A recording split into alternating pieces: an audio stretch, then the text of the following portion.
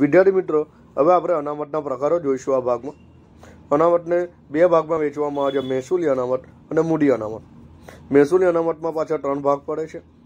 એક સામાન્ય અનામત, બે વિશિષ્ટ અનામત અને ત્રણ ગુપ્ત અનામત. એમાં પહેલું મહેસૂલી અનામત જોઈએ અને એમાં પહેલો મુદ્દો આવશે સામાન્ય અનામત. તો સામાન્ય અનામત એ ધંધા માટે. સંકટ સમયની સાંકળ ગણાય છે. આ વારંવાર પૂછાય છે એક્ઝામમાં એક ગુણના પ્રશ્નમાં. ધંધા માટે સંકટ સમયની સાકર કઈ અનામત ગણાય છે, તો સામાન્ય અનામત શબ્દ યાદ રાખજો. સામાન્ય અનામત નફા નુકસાન ફાળવણી ખાતેથી ઊભું કરવામાં આવે છે. હવે આપણે એની આમ નોંધ જોઈશું. નફા નુકસાન ફાળવણી ખાતે ઉધાર. તે સામાન્ય અનામત ખાતે, એટલે કે સામાન્ય અનામત નફા નુકસાન ફાળવણી ખાતેથી ઊભું કરવામાં આવે છે. બીજો પ્રકાર જોઈશું, વિશિષ્ટ અનામત. જ્યારે કોઈ ચોક્કસ હેતુ માટે મહેસૂલી અનામત નફા નુકસાન ફાળવણી ખાતેથી ઊભું કરવામાં આવે તો એને વિશિષ્ટ અનામત કે ખાસ અનામત કહે છે. એ શબ્દ જ છે ચોક્કસ હેતુ માટે. અને એટલે એને વિશિષ્ટ અનામત કહેવાય. દાખલા તરીકે, ડિવિડન્ડ સમતુલા ભંડોળ એટલે કે વર્ષો વર્ષથી ડિવિડન્ડ જાળવી રાખવા માટે આ એક ભંડોળ ઊભું કરવામાં આવે છે. ડિબેન્ચર પરત અનામત કે ડિબેન્ચર પરત ભંડોળ કે ડિબેન્ચર પરત નીતિ. ડિબેન્ચરો પણ ચોક્કસ મુદતના અંતે પરત કરવાના હોય છે. તેના માટેનું પણ નિધિ કે ભંડોળ ઊભું કરી શકાય.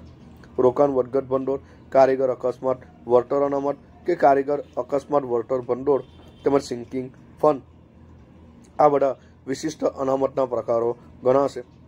ત્યાર પછી આપણે લઈશું કે, ગુપ્ત અનામત.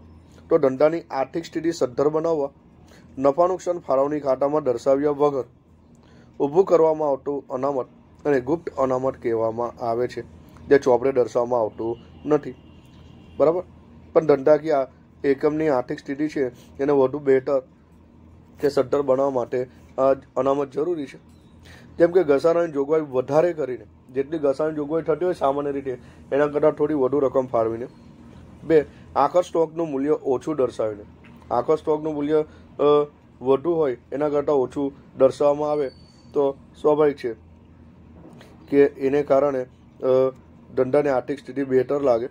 થર્ડ નંબર ગાળખાડ અનામત અને આકસ્મિકતાઓ માટે જરૂર કરતાં વધારે જોગવાઈ કરીને તેને ઘસારાની જોગવાઈ વધુ કરી તેને ગાળખાડ અનામત અને અન્ય આકસ્મિક જોગવાઈઓની રકમ વધારે દર્શાવીને ત્યાર પછી મૂડી ખર્ચ નફા નુકસાન ખાતે નોંધીને, મૂડી ખર્ચ છે એ નફા નુકસાન ખાતે નોંધવામાં આવતો નથી, પરંતુ મહેસૂલી ખર્ચ નોંધવામાં આવે છે.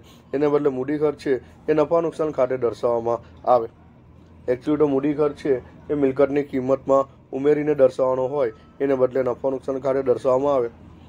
ત્યાર પછી પાંચમું, સંશયિત દેવાને ખરેખર દેવા તરીકે દર્શાવવાના. સંશયિત એટલે કે શંકાસ્પદ દેવાઓ હોય. બરાબર છે? જે ખરેખર દેવા તરીકે ન પણ આવી શકે, એવા દેવાઓને ખરેખર દેવા તરીકે દર્શાવીને પણ ગુપ્ત અનામત ઊભું કરવામાં આવે છે.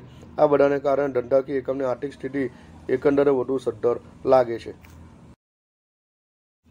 એના પછી અનામત જોઈશું આપણે. બીજો પ્રકાર મૂડી અનામત.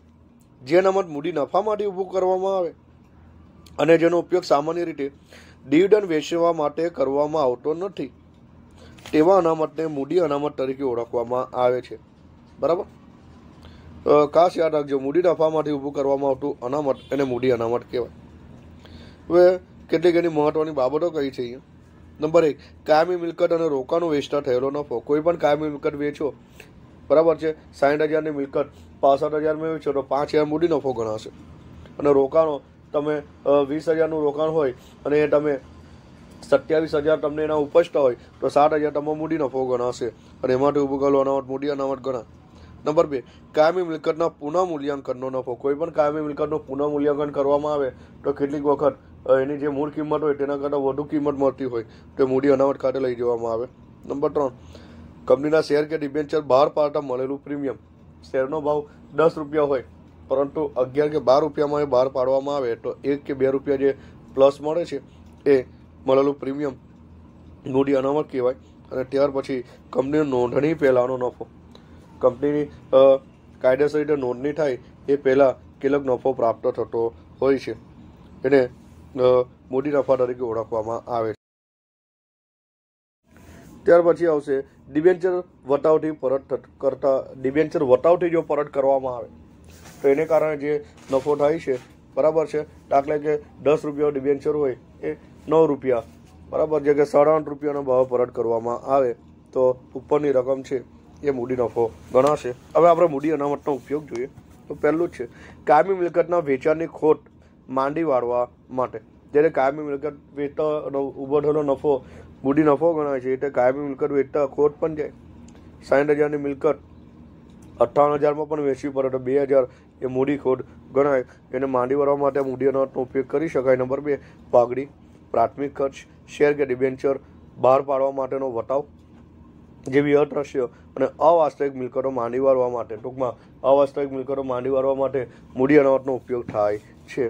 અને ત્રીજું, કંપનીના આર્ટિકલ્સ ઓફ એસોસિએશનમાં જોગવાઈ હોય. તો બોનસ શેર આપવા માટે પણ મૂડી અનામતનો ઉપયોગ કરી શકાય. એટલે બોનસ શેર આપવા માટે મૂડી અનામત ઉપયોગી છે.